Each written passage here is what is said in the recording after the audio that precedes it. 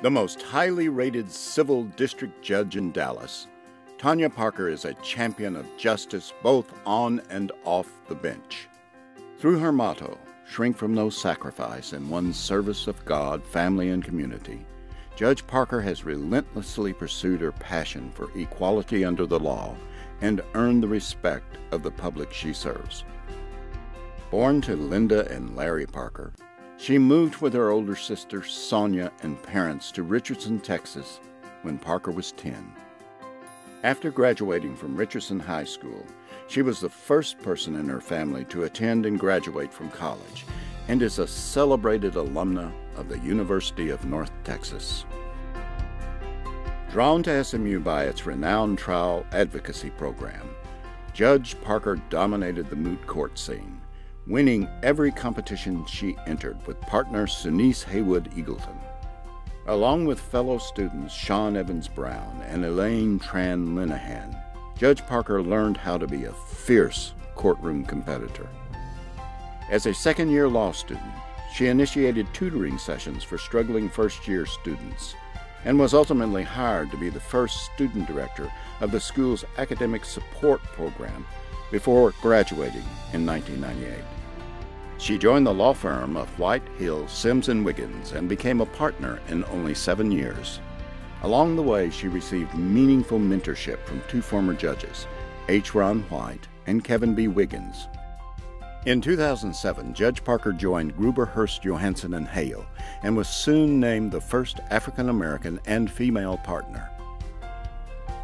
She was elected as judge of the 116th Judicial District Court in 2010 and became the presiding civil district judge the following year.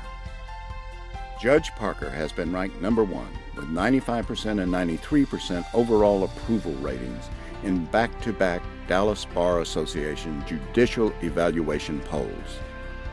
Named 2015 Trial Judge of the Year by the Dallas chapter of the American Board of Trial Advocates, Judge Parker has been heralded for her efficiency, preparedness, temperament, knowledge of the law, and impartiality.